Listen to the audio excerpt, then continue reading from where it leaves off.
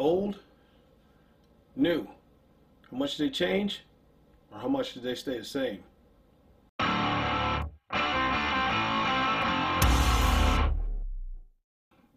Hey everybody, it's Bishop here for Tactical POV. And today I'm going to do a quick review because I finally got a new holster in from G-Code. And I've been uh, waiting to get this for a while. I know I'm a little late to the party here, but things move as fast as the money moves around here and it moves slow. So it's going to take me a minute being self-financed. But anyway, before I get to it here and break down the difference between the last review that you saw on uh, uh, one of my earlier videos a while ago on the Eclipse and then showing you the new one here, before we get started, make sure you run over, man, hit the subscribe button for my channel so you can get notified. Make sure you hit that bell too and you'll get notified for new videos that I post. Also, make sure you sign up for my email list. That way you'll also get notified because small gun channels such as myself or, or bigger ones or whatever, uh, they get demonetized here on YouTube. So, and that's no big deal because I mean, like I said, the monetization really isn't paying me crap. I'd rather you guys run over and check out my store. You can look at links in the description, and I'll leave it in for this one here, and I'll see if I can find a link for this one here. Uh, it might be available, might not if I do give it, it, it might not be an affiliate for me because er, my affiliate links help uh, me and my channel here and, and my things that go on here with uh, Tactical POV. So it might be that might not take you to the website. Still check it out. I'm still a huge fan of this company. So don't forget to do that. And let's get started.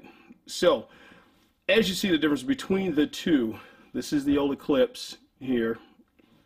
This is the new Phenom Stealth.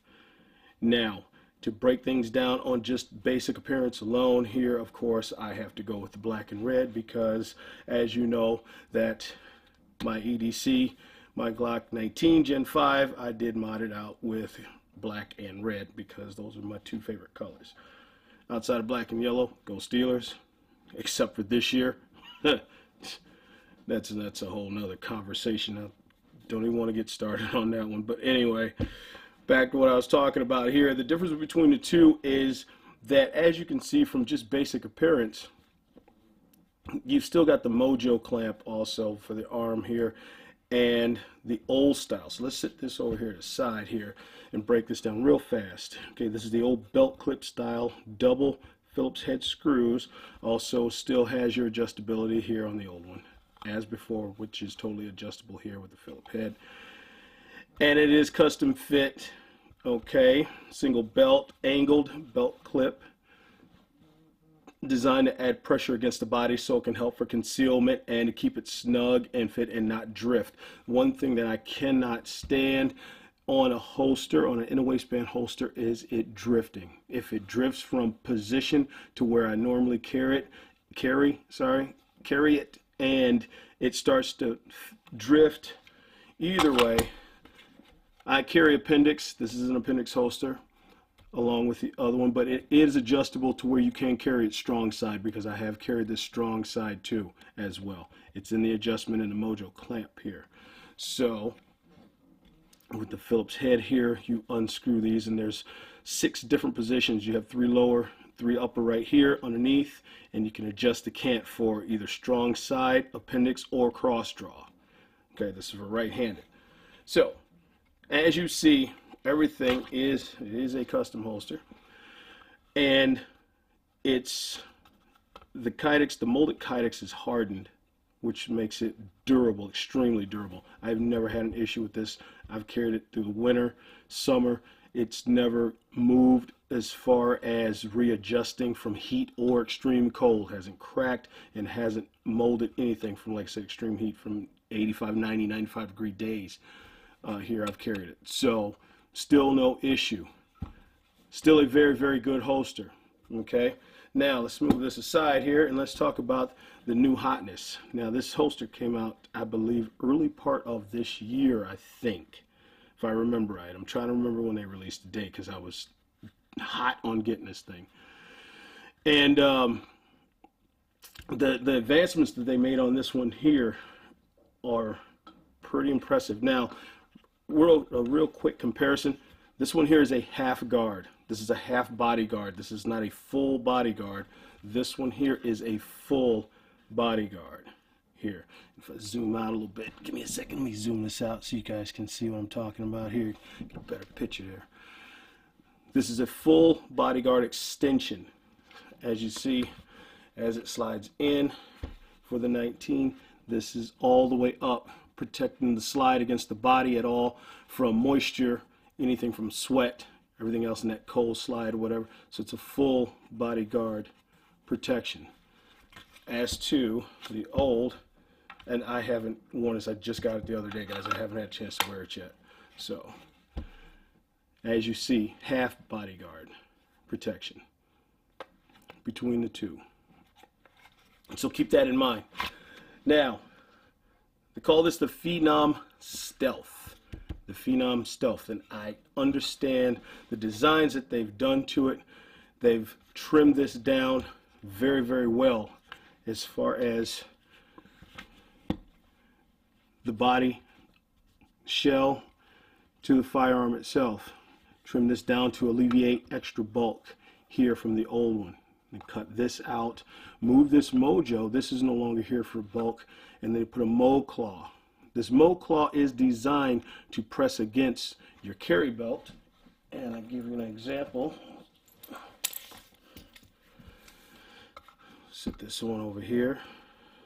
And we'll talk about the clamp here in a sec. Now as you see the MoClaw is designed to catch your belt, your carry belt here. And the reason for this is to press this snug. So when you zip, when you snug your belt up, it presses this back, carrying the butt of the firearm into the body. This will still keep it closed, still keep it close to the body, still designed it close, but that MoClaw, that is what that's designed for, to press that in towards the body. And look, I'll show you a, uh, a shot of it as it pressed, as it's used, it's pressed in as designed for that which is actually pretty, pretty cool because the older one, as you see, pull this in, with the old design, it does not have that design. As you can see, even pulling it in snug, there's nothing to press this in to suck this butt of this firearm into the body a little closer for concealment, strict concealment. So, does not have that. That's the old design. So this is actually pretty, pretty cool.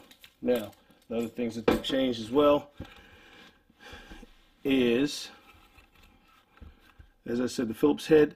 This is no longer a Phillips head. This is actually, I believe, a Torx head. If I can see, yep, and that's a Torx head screw. But can be unscrewed and also change for strong side or cross draw as well. This is still an appendix size set up for either noon or one o'clock which is very, very perfect for me because I carry roughly, I roughly carry about my 1230. It's, it sits comfortable about my 1230 on me. 1230, man, one, about 1230. So this is pretty cool as well. I like this slim design, the cutouts for it. Now this is also cut out deep too, as you can see, and I'll put up front. This is also cut out for an RMR. So if you do have an RMR, it is definitely cut out and gives you space for that as well. So if you have one, you can see you'll have plenty of clearance for that RMR. Doesn't interfere, still has a high cutout for the high sights or tritium sights, such as my Trijicon HD front sight that I have on this. You guys can see uh, a video of the mods that I did on my 19. You'll see everything that I added to it, and this thing, God, it shoots like a dream, man. I love shooting this. So, that is another design that, that's changed. Now what's really cool, it still has a tack fuzz on the outside such as the older versions as well. But what they did change was the older version, no tack fuzz on the inside. Still hardened, okay? It's just a plain Kydex itself. On the Phenom Stealth, it is tack fuzzed on the inside as well. And if you can hear it audio-wise, as far as the holstering,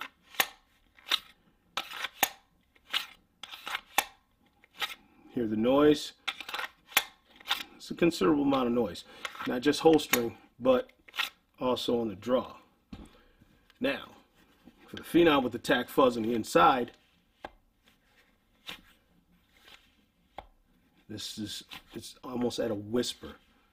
Still has the traditional G-code click lock It's also adjustable for retention as well. There's your retention adjustment screw for it. This is for your MoClaw, and this is also really nice because that MoClaw is a dual. It is both screwed here, there, both sides. So the longer screw carries over plus retention. But listen to this thing, man, it's a whisper. On the draw, reholster, but especially on that draw. And I haven't even adjusted this yet. Like I said, I just got it yesterday. God, that's beautiful. Feels smooth, nice and easy, still comfortable, still has, as I said, that tack fuzz to keep that grip. Man, this is on point. This is on point. Your cutout is slim, minimal, keeps it closed for concealment for less printing. So it doesn't print as much. This is a really, really, really nice holster, man. I've been waiting to get this for a while.